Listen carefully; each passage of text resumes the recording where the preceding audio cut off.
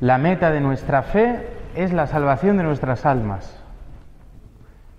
No podemos olvidarnos de esto. Todo lo demás es accesorio. Salvación de la de cada uno y de la de los demás. ¿eh? Pero todos los demás, eh, todas las consecuencias que trae la fe en la vida humana y en la sociedad y en la construcción de la sociedad y, y en que este mundo se parezca más al reino de Dios, eso es verdad que es fruto de la fe. Pero la meta de nuestra fe es la salvación de nuestras almas. Ha habido durante unas décadas y en algunos contextos eclesiales una tendencia a reducir la fe a algo simplemente para esta vida. Si en algunos momentos de la historia a lo mejor eh, la fe solo se ha proyectado hacia el cielo y se ha olvidado la dimensión de la transformación de lo humano, en otros momentos más recientes, pues muchas veces se ha olvidado que la meta es la salvación de nuestras almas, que caminamos hacia el cielo. Pero en este camino experimentamos las pruebas, las dificultades, las tentaciones.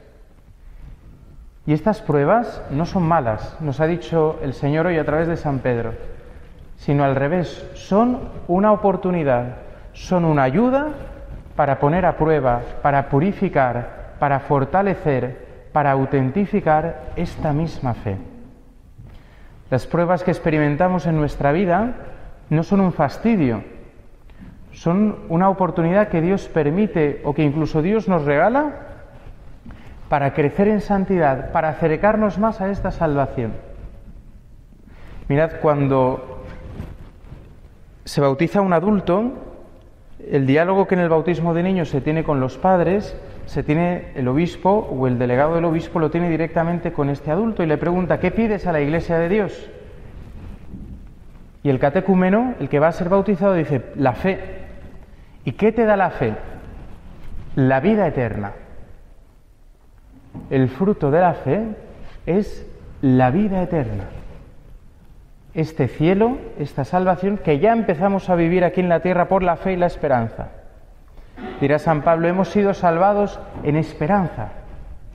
Y en esta esperanza en la que hemos sido salvados, la tentación y la prueba juegan un papel muy importante. Mirad, cuenta una historia de los padres del desierto, de estos hombres que se retiraban fuera de las ciudades, en los desiertos y en los montes para vivir en oración y en soledad, que un eremita joven tuvo una aparición del Señor Jesucristo y le dijo, pídeme lo que quieras. Y él le dijo, quítame la tentación y el Señor se lo concedió. Este eremita joven fue a un abad, a un eremita más mayor que llevaba muchos años de oración y soledad, y le dijo, se me ha parecido el Señor. ¿Y qué te ha dicho? Que le pidiera lo que quisiera. ¿Y qué le has pedido? Que me quitara las tentaciones. El abad se echó las manos a la cabeza y se quedó horrorizado y le dijo, insensato, te vas a condenar. Vuelve a tu celda, reza, con la esperanza de que vuelva a aparecerse del Señor y cuando se te aparezca dile que te devuelva las tentaciones. ¿Cómo puede ser esto? Mirad, es que las tentaciones son la oportunidad que tenemos de crecer en la fe, de ver si esta fe es verdadera o no es verdadera. Las tentaciones son la oportunidad de crecer en el amor al Señor, de poder ver si realmente nuestro corazón ama más a Dios que las cosas que nos promete la tentación o que las cosas que nos han sido quitadas en una prueba, ver si realmente nuestra vida está sostenida en Dios o solamente nuestra fe es una apariencia. Por eso el Señor Jesús, cuando sus discípulos se acercan y le dicen, Señor, enséñanos a orar como Juan ha enseñado a sus discípulos, y enseña la oración del Padre Nuestro, en el Padre Nuestro no nos enseña a decir, y quítanos la tentación. No, no, no nos dejes caer en la tentación y líbranos del mal no nos dejes caer, pero no nos la quites. Cristo mismo ha sido tentado. Dice San Agustín, ¿te fijas en que Cristo ha sido tentado y no te fijas en que venció? Dice, en ti Cristo está siendo tentado, pero en su victoria tú ya has vencido. Y entonces la fe es fortalecida y puede ya dar frutos de vida eterna. Hoy vemos en el Evangelio, esto no es fácil. Eh, dice que es probada, la, primera lectura dice que es probada como el oro. El oro se pone a altísimas temperaturas ¿eh? para hacerse líquido y que todas las impurezas que hay queden al fondo y poder después volver a enfriarse y quedar un oro todavía más puro. Y así se hace con todos los metales, ¿no? Pues dice, si eso que es un metal se hace así, ¿cuánto más vuestra fe, que es mucho más que el oro? Mucho más, es un tesoro preciadísimo, es un regalo que tenéis que os ha dado Dios mismo. Y entonces en este camino de la fe vemos el Evangelio. ¿eh?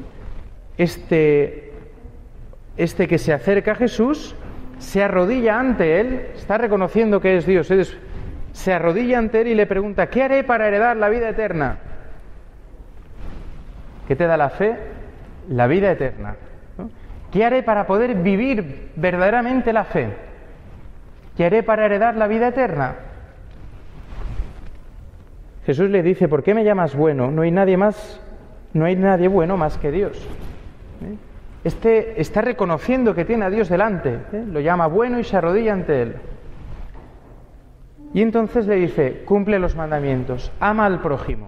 Si os fijáis solamente le habla de los mandamientos relacionados con el prójimo. Esto lo podría afirmar cualquier persona del mundo, ¿eh? casi de cualquier religión. Oye, no matarás, no cometerás adulterio, no robarás, no darás falso testimonio, no estafarás, honra a tu padre y a tu madre. ¿eh? Cualquiera de cualquier religión podría afirmar estos preceptos para una convivencia adecuada. Ama a tu prójimo. El joven le dice, todo esto lo he cumplido. El joven no. Este hombre le dice, todo esto lo he cumplido desde mi juventud. Todo esto lo he cumplido. Y entonces Jesús le dice, una cosa te falta. Amar a Dios sobre todas las cosas. Una cosa te falta. Quita todo lo que sobra en tu vida. Anda, vende lo que tienes dáselo a los pobres, así tendrás un tesoro en el cielo. Y luego ven y sígueme.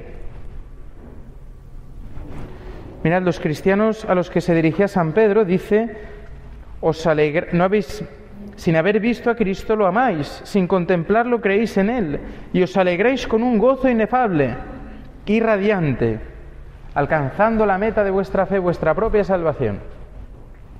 Esto es lo que están viviendo los cristianos a los que se dirigen San Pedro. ¿Qué le pasa a este hombre?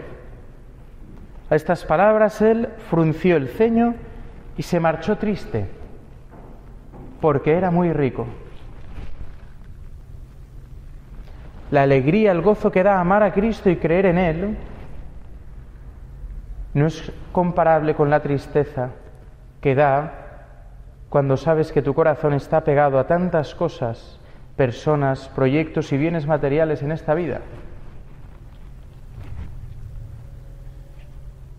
Cuando uno tiene su corazón puesto en Cristo, no hay nada que le dé tristeza verdaderamente, ni la enfermedad, ni la ruina, ni, ni, la vejez, ni, la, eh, ni que las cosas no salgan bien, porque su alegría viene de otra realidad, Viene del amor y la fe en Cristo Jesús que le abre una nueva esperanza. Pero cuando nuestro corazón está puesto y el Señor nos pide, vende lo que tienes, dáselo a los pobres, luego ven y sígueme, nos pide nuestros bienes materiales, nos pide nuestra salud, nos pide nuestro vigor, nos pide, eh, pues no sé, nuestra familia, nos pide nuestros proyectos, nos pide nuestras capacidades de hacer cosas por los demás incluso. Fijaros, es le frunció el ceño y se marchó triste porque era muy rico.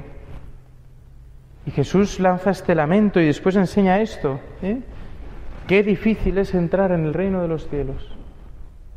Qué difícil será entrar en el reino de Dios a los que tienen riquezas. ¿Qué hacer ante esta realidad? Las pruebas de la fe, la dificultad para amar al Señor con todo el corazón, la exigencia de Jesucristo, que nos lo pide todo, porque Él lo ha dado todo.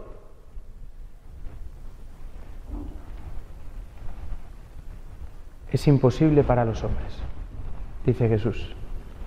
Es imposible para los hombres, pero no para Dios. Dios lo puede todo. El Señor puede hacer esta obra en cada uno de nosotros, también en tu vejez, también en tu limitación, también en tus dudas, también en tus pruebas, también en tus dificultades, también en la pequeñez de tu fe, también en tantos momentos que a lo mejor pierdes la esperanza, también en tantos momentos que no sabes por dónde ni cómo tirar. es imposible para los hombres, no para Dios. Dios lo puede todo y si tú le dejas, si tú le das permiso, si tú acoges la gracia y colaboras con ella, el Señor lo hará. Y te concederá amarlo con todo el corazón, con toda el alma, con todas las fuerzas y amar a tu prójimo como Él mismo te ha amado a ti. El Señor está haciendo esta obra en nuestro corazón. No nos resistamos a la gracia. No nos conformemos con mediocridades, con componendas, con medias tintas, con un Dios, una fe, una palabra a nuestra medida. Abrámonos a la novedad y a la grandeza y a la totalidad que Dios nos quiere regalar en la vivencia de nuestra fe para vivir así ya esta meta que es nuestra propia salvación, vivir como salvados. Que así sea.